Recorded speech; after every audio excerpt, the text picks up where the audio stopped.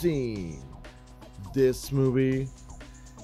I'm gonna go ahead and tell you right now, you should. Especially for my generation, where uh, we also played the crap out that game.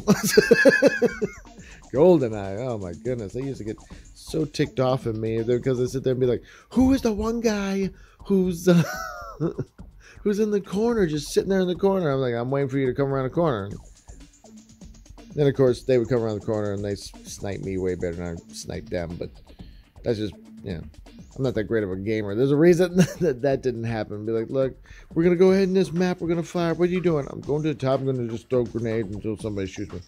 But anyways, GoldenEye is a fun Bond movie. Definitely the best Pierce Brosnan Bond movie, I would have to say. Um, I don't know what, what would be the other one, other Bond breakdowns where Sean, I cannot tell you what Sean Connery's best Bond is. Uh, Roger Moore's, maybe. Um, oh man, uh, the, the, the, the, the, the, the, the View to a Kill, or no, um, Live and Let Die. Ooh, mm, mm, mm, but uh, yeah, Bond movies are are pretty wild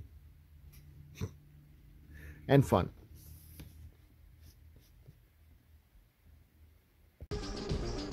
Thanks for watching. Tune in tomorrow. Tune in, uh, tune in for more. Later, y'all. Keep on watching.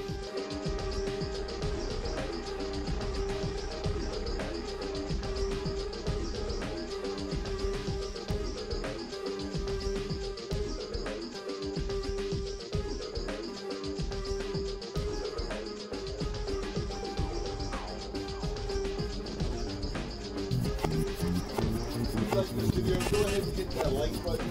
Go ahead and subscribe.